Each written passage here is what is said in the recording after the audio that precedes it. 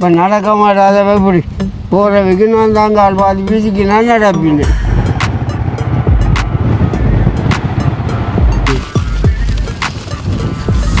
நிறைய இடங்களில் இந்த மாதிரி போகும்போது நான் யோசிக்கிறேன் இதை எப்படி கட்டி கொண்டு போகிறார்களே தெரியுதா? பஞ்சாகராக்கு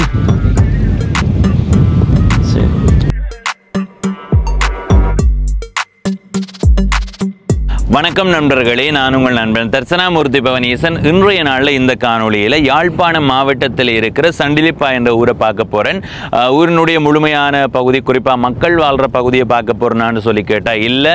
குறிப்பாக இந்த வீதியால் அப்படியே பயணம் செய்ய போகிறேன் குறிப்பாக நான் பயணம் செய்ய போகிற இந்த வீதி தோட்டப்பகுதி அதாவது வயல் இந்த இடத்த அறுவடை செய்து உழவு செய்திருக்கு. அதை தாண்டிய நிறைய பயிர்கள் இந்த பகுதியில் இருக்குது கத்தரி அது மாதிரி பயிற்று எல்லாம் அந்த பகுதியில் நிற்குது அதை விட இந்த பகுதியால் பயணிக்கும் போது எந்த அளவு சிறப்பாக இருக்குமென்றது இந்த காணொலியை நீங்கள் முழுமையாக பார்த்து அறிந்து கொள்ளலாம். இதுவரை பவனீசன் என்ற இந்த யூடியூப் சேனலை சப்ஸ்கிரைப் செய்யாதவர்கள் சப்ஸ்கிரைப் செய்து இணைந்திருங்கள். இப்போ இந்த வீதியால் பயணம் செய்ய போகிறேன் இந்த இடத்த பார்த்தீங்களா இவ்வளவு சிறப்பாக இருக்குது பார்க்க அந்த பக்கத்தில் ஒரு வாகனம். வடி என்று சொல்லுவேன் இங்கே. அதில் வந்து வைக்கோல் ஏற்றி கொண்டிருக்கிறார்கள். அங்கே போக முடியாது. நல்ல தூரத்தில் இருக்குது உங்களுக்கு ஜூம் போட்டு காட்டினான். இந்த பகுதியை பாருங்க. அவ்வளோ வடிவாக இருக்கு என்ன? வயல் அறுவடை செய்திருக்கிறதும் ஒரு வடிவு தான் பாருங்க. இந்த பகுதியில எல்லாம் வைக்கோல்கள் இருக்குது. இன்னுமே இந்த வயல் விதைத்திருக்கிற காலங்களில் வயல் வந்து ஒரு நடுத்தரமான காலப்பகுதியில் இந்த வீதியால் பயணம் செய்யும்போது இன்னும் சிறப்பாக இருக்கும் ஒவ்வொரு தோட்டப்பகுதிக்குள்ளேயுமே நிறைய பேர் நிற்கிறார்கள். தோட்ட வேலைகளும் நடந்து கொண்டிருக்கு பாருங்கள் இந்த இடத்துல மிளகாய் தோட்டம் இது கத்தரி தோட்டம். அவ்வளோ வடிவாக இருக்கு. ம்.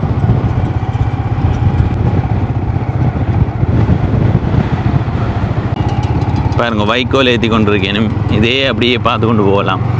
ஏன்னா அந்த அளவு சிறப்பாக இருக்குது. பாருங்க தோட்டங்கள்.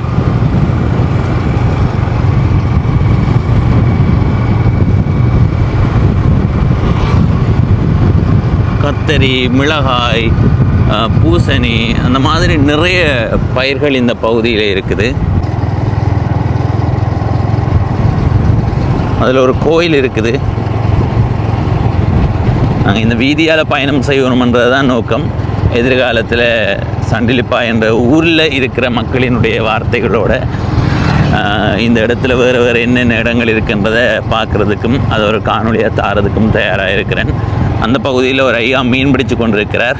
அங்கேயும் போய் கதைப்போம். இதை பார்த்தீங்களா? சுற்றவர தோட்டம் அந்த தோட்டத்துக்கு மத்தியில் இதில் ஒரு குளம் இருக்குது. இதை பிள்ளையார் கோயில் குளம் என்று சொல்கிறார்கள் எனவே நாங்கள் அந்த குளத்தை சுற்றி பார்க்குறதுக்கு வரையில் ஐயாவை பார்த்த உடனே எங்களுக்கு கொஞ்சம் நேரம் நின்று கதைக்கணும் போல இருந்தது. வந்திருக்கிறோம். வாங்கோ. ஐயா வணக்கம். வணக்கம். என்ன பேர் ஐயாக்கு? என்ன சின்ன ராசாவா பெரிய ராசாவா இருக்கிறீங்க? சின்ன எல்லாருக்கும் கீழே சின்ன. சரி எவ்வளோ காலம் மீன் பிடிக்கிறீங்க? எங்க? மீன் எவ்வளோ காலம் பிடிக்கிறீங்க? அது பார்க்கிறேன் இல்லை இல்லை எவ்வளோ காலம்? கடைக்கு வந்து பிடிக்கிறாரு. வியாபாரம் இல்லையே. எத்தனை வருஷமா பிடிக்கிறீங்க? ஒவ்வொரு நாளும் பிடிக்கிறது ஒவ்வொரு வரைக்கும் பிடிக்கிறான் ஆ சரி சரி. என்ன மீன் என்ன மீன்? இது ஜப்பான் மீன். பாருங்க ஜப்பான் மீனை பாருங்க. அதுக்கு நம்ம ஐயாவுக்கு நாங்கள் கதைக்கிறது அதிகமாக விளங்காதுன்னு முதலே சொன்னவர். இருந்தாலும் நாங்கள் இந்த வயதில் ஐயா வந்து மீன் பிடிச்சு தன்னுடைய வாழ்வாதாரத்தை பார்க்குறாருன்றது வாழ்த்தப்பட வேண்டிய விஷயம். எத்தனை வயது? எத்தனை வயது? வயதர்கள் வகி அஞ்சு. எழுபத்தஞ்சு வயது. எழு- எழுபத்தி எட்டு. எழுபத்தெட்டு வயது. ஆ. இந்த மீன் என்ன செய்வீங்க? நீ விற்பனை செய்கிறதா இல்லை வீட்டு தேவைக்கா? இது விற்பனைக்கா வீட்டு தேவைக்கா? ஆ வீட்டு கரைக்கு காரிக்கா ஆ சரி சரி. வியாபாரத்துக்கு தண்ணி பார்த்துக்கணும். தண்ணி கடத்துக்கு மேல் நிற்கும் கூடி போச்சா தண்ணி? ஓ தண்ணி இனி தோட்டத்துக்கு வைச்சா. தண்ணி குறைக்கும். அப்படியே பாருங்க சுத்த வர வயல் பகுதி. பார்க்கவே ஆசையாக இருக்குது.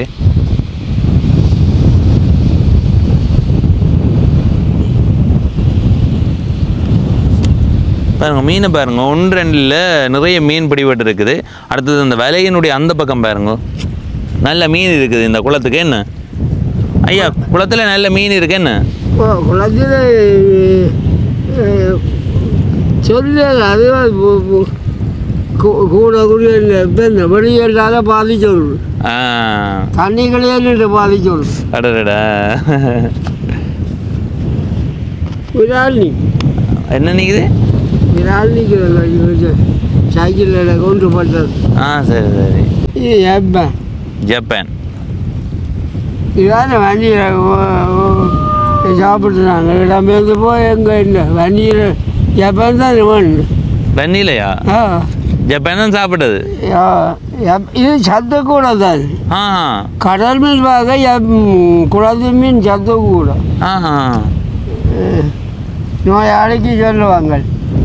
ஜப்பான் பண்டிகை. ஆ சரி சரி.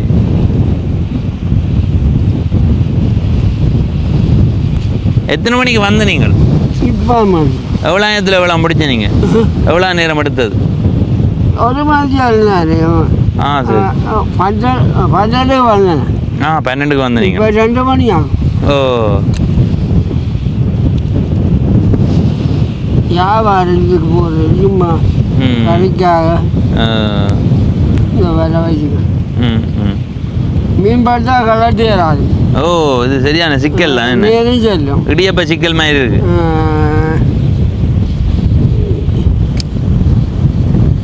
தனியாரம் கேட்பாங்க டவுன் ம் முழுவார கலட்டிடுறா ம் ம் பாருங்க என்னென்ன கலட்டுறாருன்னு வந்து பாருங்க ஒரு மீன்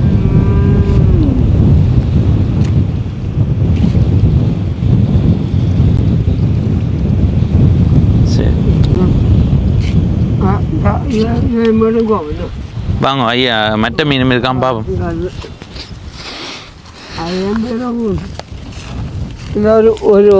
வாரியார் ஆ சரி சரி. இல்லை இல்லை இல்லை இல்லை ஒரு ஒரு அச்சோ ஐயா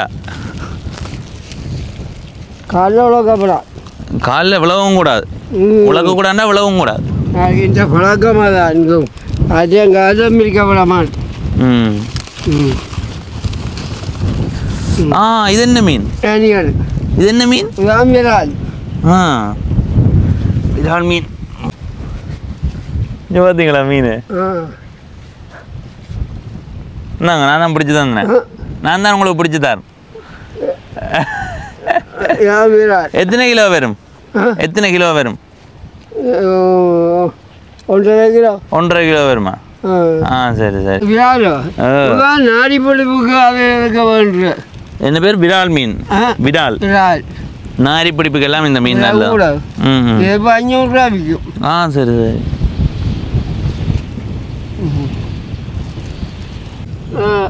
இது பதினஞ்சு என்ன பேர்? பதினோரஞ்சு மனோரஞ்சியா என்ன பேர்? பதினோரஞ்சு பனோரஞ்சி சரி சரி.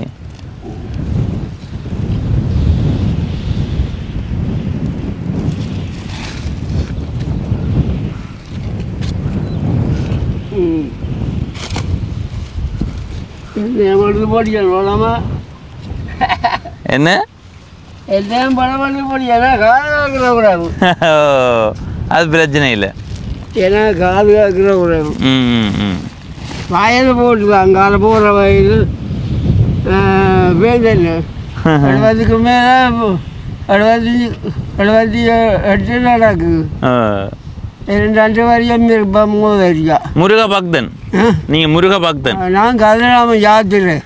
ஓ எவ்வளோ காலம் போகிறீங்க பன்னெண்டு வரையும். பன்னெண்டு வருஷமா? இந்த வருஷம் போகுது ஆ எத்தனை நாள் எடுக்கிறது? எத்தனை நாள் எடுக்கிறது? நூற்றி அஞ்சு நாள் படிக்க மூன்று மாதம். ஆ.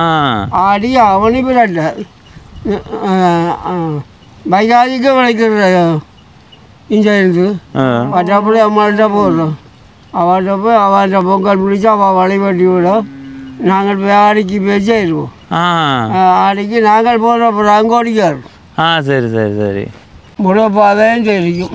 முழு பாதையும் தெரியுமா? ஓ. ஆ. நான் தான் கடைசி சாமி. இப்போ நடக்க மாட்டாதவ இப்படி. போகிறவைக்கு நான் தான் கால் பாதி வீசிக்கு நான் நடப்பின்னு. காதுகடா சாமியாண்டா எல்லாருக்கும் தெரியும். சரி நன்றி. நன்றி. உங்களோட கதைச்சதுல மகிழ்ச்சி. இவன் மைக்க ஓ மைக் தெரியுதா? பஞ்சாகராக்கு இது பஞ்சு பஞ்சா கிடக்கு. கதைக்கிறது வந்து தெளிவா விளங்கும். காத்தடிக்கும் இல்ல காத்தடிக்க இறையும் இல்ல இந்த பஞ்சு போட்டா எரியாது பஞ்சும் அமிஞ்சு ஆ சரி இனி இதை பூட்டி விட்டா காத்துக்கு நல்ல சத்தமா இருக்கும் நன்றி சரி ஐயா நன்றி சரி ஐயா மீன் பிடிச்சதை பார்த்துட்டு நாங்கள் அடுத்த கட்டமாக இந்த பகுதியால் பயணம் செய்கிறோம் பாருங்க ஐயா மிதிவண்டியில் மீன்கள் எடுத்துக்கொண்டு வீட்டை போகிறார் போல் இருக்குது. இல்லை தோட்டம் இருக்கிற வீதியால் பயணம் செய்து வந்த நான் ஓ இஞ்சி வரணும். என்ன அடுக்கிறார்கள்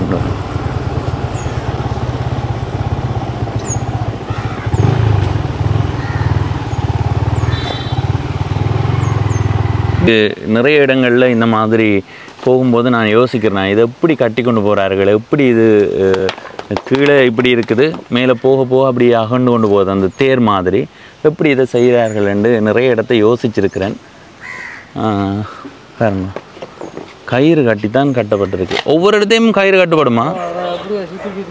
சுற்றி சுற்றி கட்டப்படுமா. என்ன? பதினஞ்சு பேரி பாருங்க.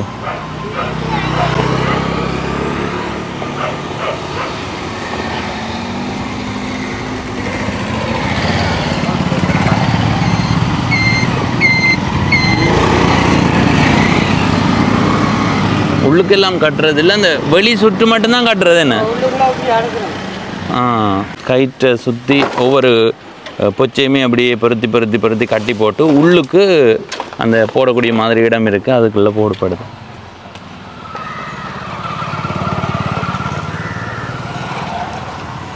இது எங்கே கொண்டு போக போகிறீங்க இணுவில். ஆ புகையில எரிக்கிறதுக்கு அதுக்கு தானே புகை போடுறதுக்கு.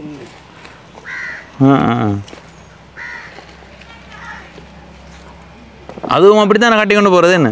புகையிலையும் அப்படி தானே கட்டுறது ம் ம். பாருங்க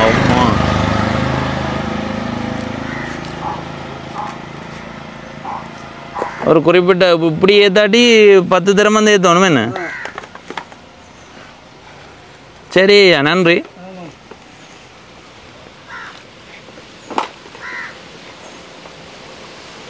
அந்த இடத்துல அந்த சின்ன உ- லேண்ட் மாஸ்டரில் அந்த மாதிரி கட்டி ஏற்றும்போது எங்களுக்கு பார்க்க இலகுவாக இருக்கலாம். ஆனால் அதில் எவ்வளோ பொறுப்போடு செயற்படணும் ஒரு சின்ன தவறு விட்டால் கூட போகிற இடங்களில் தவறுகள் நடக்கும் அப்படியே கொண்டு போவோம் அதுக்கு பிறகு நிறைய சிரமங்களுக்குள்ளே போகிற வாய்ப்பு இருக்குது எனவே அவ்வளோ அவதானமாக அப்படியே சுத்த வர கயிறு கட்டி ஒவ்வொரு ஒரு கொச்சு மட்டையும் இப்படி கட்டி போட்டு பிறகு உள்ளுக்கு வந்து ஒரு குப்பை தொட்டி இல்லைன்னு சொன்னால் ஒரு குப்பை கூடைக்குள்ளே நாங்கள் குப்பை போடுற மாதிரி அதுக்கு ஒரு மட்டம் மட்டமாக கட்டி போட்டு அதுக்குள்ளே அடுக்கிறது.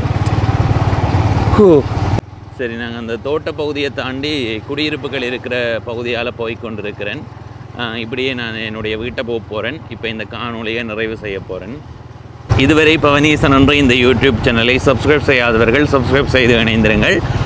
அடுத்தது வந்து காணொலி எப்படி இருந்ததுன்றதை உங்களுடைய கருத்தாக பகிர்ந்து கொள்ளுங்கள். அந்த மீன்பிடிச்ச ஐயாவோட நாங்கள் அதிக நேரமாக கதைச்சு நாங்கள் இன்னும் அதிக நேரமாக கதைச்சு ஐயாட்ட இருந்து நிறைய அனுபவம் வாய்ந்த தகவல்கள் எடுத்திருக்கலாம். ஆனால் ஐயாவுக்கு நாங்கள் கதைக்கிறது எல்லாமே தெளிவாக விளங்காது.